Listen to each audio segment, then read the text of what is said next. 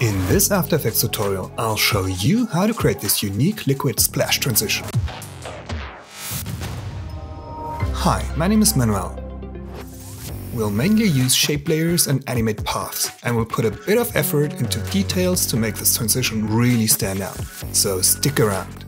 Without any further ado, let's dive in. I've already created two comps with footage in each one of them, plus the main transition comp. We grab the pen tool, activate title and action safe and draw a round path, coming in from the left side, turning downwards, kind of circling around the center, and finally ending up in the center. We use the Convert Vertex tool to drag handles and form nice curves. We name it Splash Main. No fill, stroke wide, really big 200 pixels.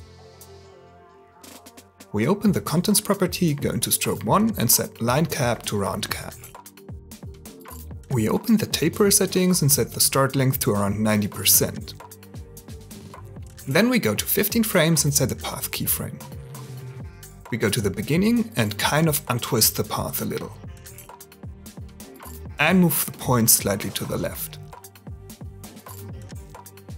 At 30 frames, the path has drifted more to the right stuck at the center. Then we open the graph editor, make sure snap is activated and edit speed graph is selected. We select the path property, grab the left point and drag it down, and drag the handle as far to the right as possible. Then we select the right point and drag it down as well, and the handle to the left. That's basically the secondary motion to what we'll animate now. Now we add trim paths. And make sure to add it directly to shape 1. Set keyframes for start and end at the beginning. At 15 frames we set a start keyframe and the end point to 100%. At 30 frames we adjust the start value so that it looks almost like a round shape. Then we add easy ease in to the left and right keyframes, easy ease to the middle ones. Awesome! Time to make it look good. We right click on the layer, go to Layer Styles and add Inner Shadow. Open the Inner Shadow property and choose the bright blue as shadow color. Set Choke to around 24%, Size to around 125 and Noise to 15%. We head to the Effects and Presets window and add Roughen Edges. Edge type Roughen, Border 85, Edge Sharpness Fractional Influence 1 scale around 370 complexity 1. Awesome, looks like a start. We go to 25 frames. Let's close all this. Select the splash main layer, then we grab the pen tool again. Let's zoom out here. And draw a big kind of random star shape all around the screen. Some tips reaching out further than others. Then we use the Convert Vertex tool to smooth out all corners and turn it into a splashy liquid shape.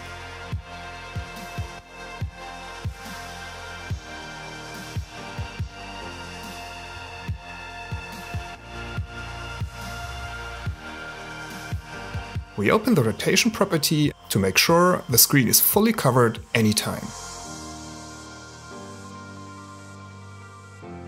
This will be important later.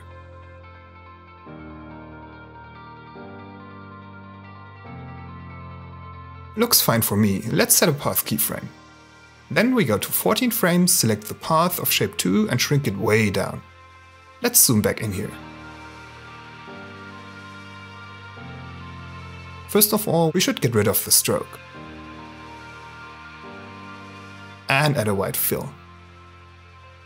And move all tips back to get a round shape that fits into the head of shape 1. Alright. We move one frame to the left, select the shape, and hide it way out of the screen, and change the keyframe into a toggle hold keyframe. A toggle hold keyframe freezes all values until the next keyframe. That's important if you render the transition with a higher frame rate or with fields. Then we open the graph editor and smooth the growth of the splash, taking up speed then slowing down. Then we go to the Effects and Presets window and add a gradient ramp. Set the ramp shape to radial ramp. Move the start of the ramp to the center and choose white as start color. Use the color picker to get blue as end color. At 15 frames we set a keyframe for the end of ramp. We go to 25 frames and move the end of ramp way down. We go back to 16 frames and set a keyframe for blend with original. At 13 frames we set it to 100% so the effect is faded in. Awesome. Let's add lots of ramp scatter for more grain. And we should add some details. We duplicate the splash main layer, delete the gradient ramp, and shape 2, reduce the stroke width to 50 pixels, then we open both inner shadow properties and link the top color setting to the bottom one.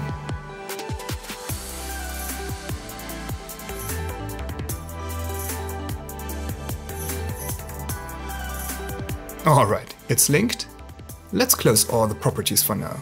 We actually hide the layer style of the top layer. We will need it later though. We set the border of roughen edges to around 65, edge sharpness to 10, scale to around 350, press U to see all keyframes and move the right keyframes right next to the middle ones, and adjust the endpoint.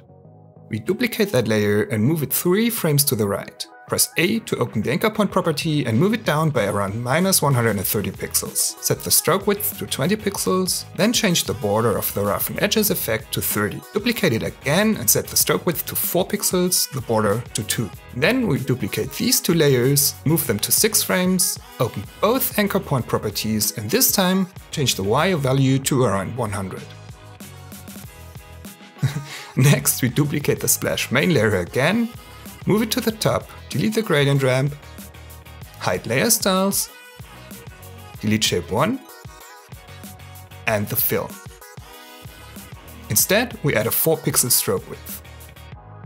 Set the border of roughen edges to 2 and scale to around 150. And set the start point of the layer to 15 frames. Awesome, we're getting there. Now, let's add some footage.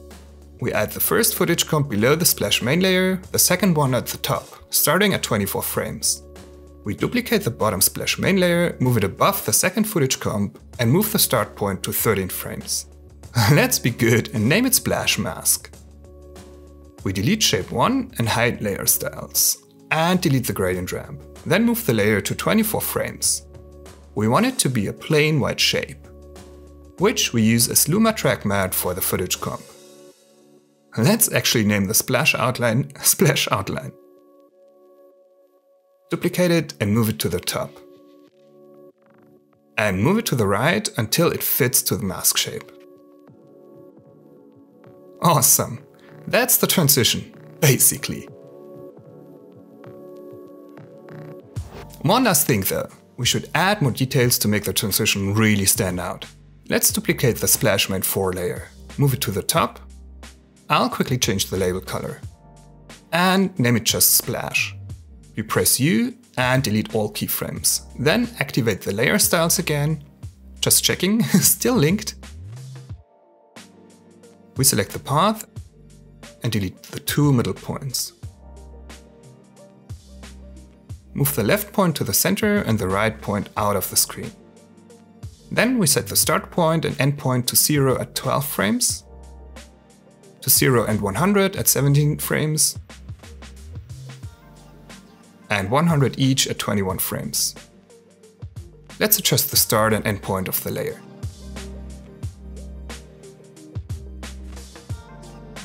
We increase the stroke width to 20 pixels, the roughen edges border to 20. Stroke width 30 is actually better. And reduce the inner shadow size to 25. Alright.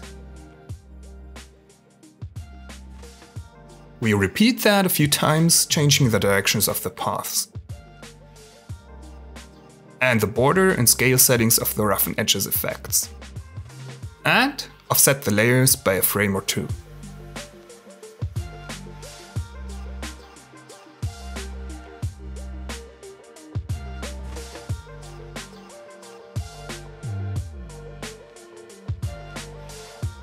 Right when these white lines in the center disappear, let's add a few white splashes.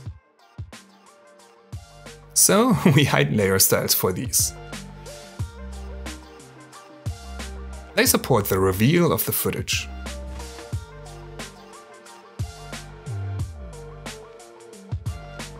Awesome, almost there.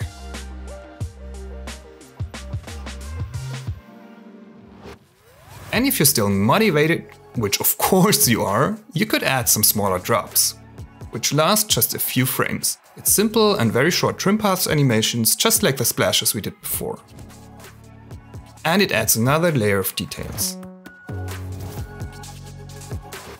To change the color of the transition, simply go to the splash main layer, change the end color of the gradient ramp and the shadow color of the inner shadow.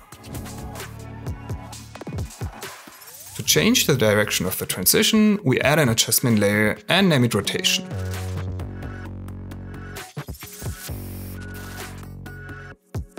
And link all layers to it except the two footage comps.